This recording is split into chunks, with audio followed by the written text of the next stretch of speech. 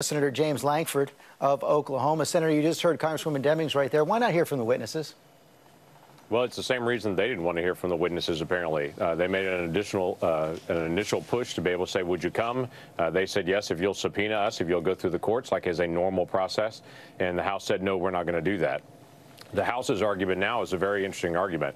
They're saying the president not only can be impeached in 78 days to the House, the fastest ever in history, but they're now saying the president should not have access to the courts at all at any point through the trial.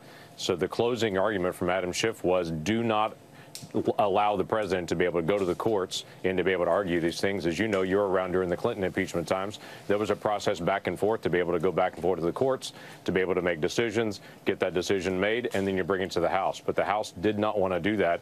They want to move as fast as possible, and now they want to slow down the trial as much as possible in the Senate. That's just a very odd political strategy for them, more than a fact-finding strategy. And quite frankly, it looks like they're asking the Senate to go be special counsel, go search, go seek out. That's not really the task of the Senate. The task of the Senate is to hear the trial. The House is the one that's actually gathering the information for impeachment. So we're acting on what they're sending us. Of course, the big difference from the Clinton trial that in the Clinton trial, those witnesses were heard in the House and they were called in the Senate, and the White House uh, did not completely stonewall the investigation.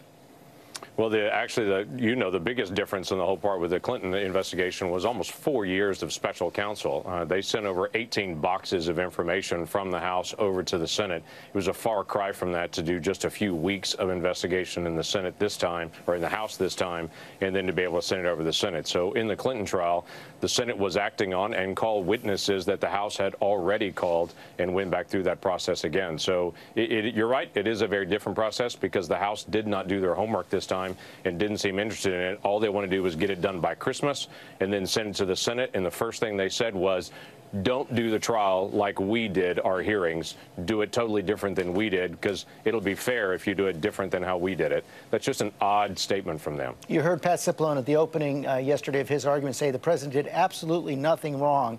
Uh, do you agree with that? Do you think it's appropriate for a president to solicit foreign interference in an election?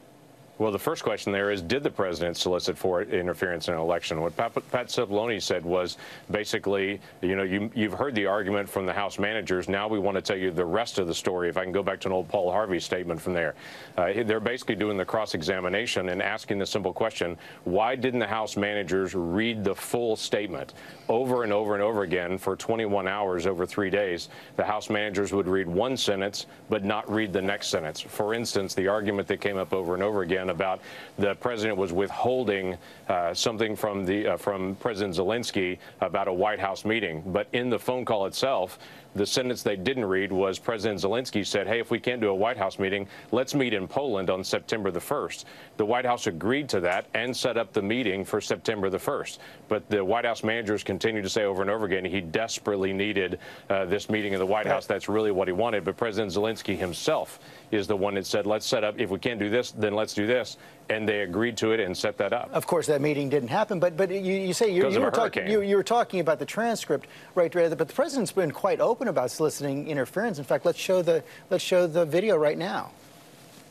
What exactly did you hope Zelensky would do about the Bidens after your phone call? Exactly. Well, I would think that if they were honest about it, they'd start a major investigation into the Bidens. It's a very simple answer. Likewise, China should start an investigation into the Bidens.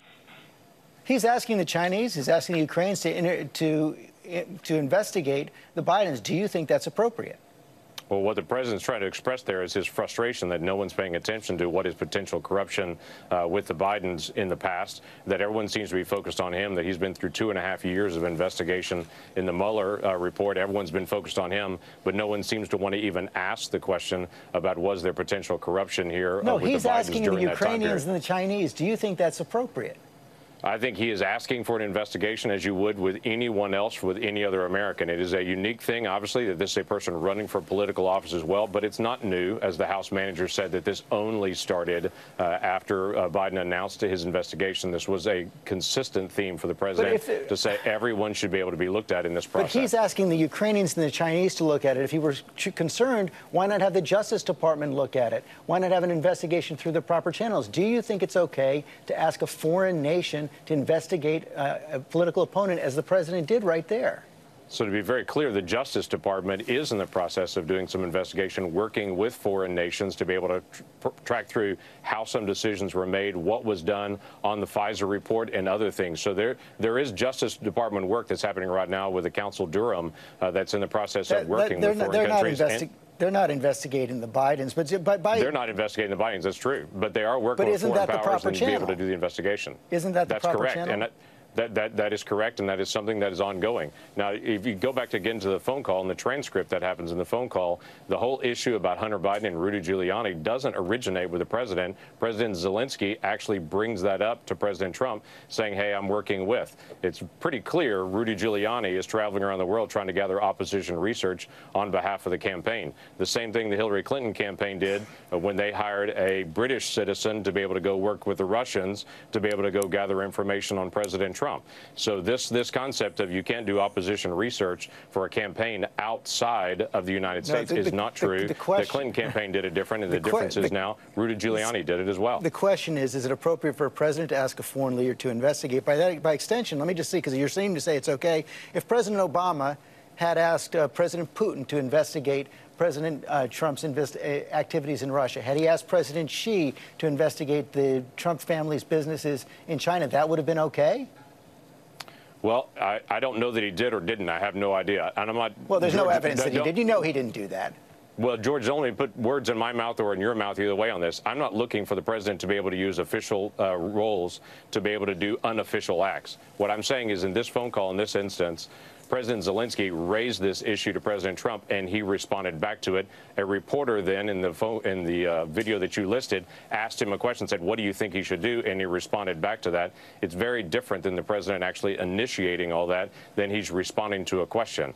Uh, if he is starting that phone call and saying, "Here's what I'm calling you about, and I want you to be able to do that," it's very different than President Zelensky raising it to him and saying, "Yeah, yeah, I'm glad you're meeting with uh, Rudy Giuliani. Uh, go ahead and meet with him and get a chance to be able to visit with him." That's not inappropriate, but it is a big deal to try to mix official and unofficial in that. That's a challenge that all of us have in every one of our roles. When someone uh, in the Capitol comes and asks us about campaign things, we say, "Hey, that's not an issue. You need to go talk to a different person from there." The president is literally, when it's being raised in an official setting, saying, "Talk to Rudy Giuliani and be able to." I'm glad you're visiting with him, but that's a separate issue. I think the plain meaning of the president's video is pretty clear. But final question Will you vote for a motion to dismiss this week?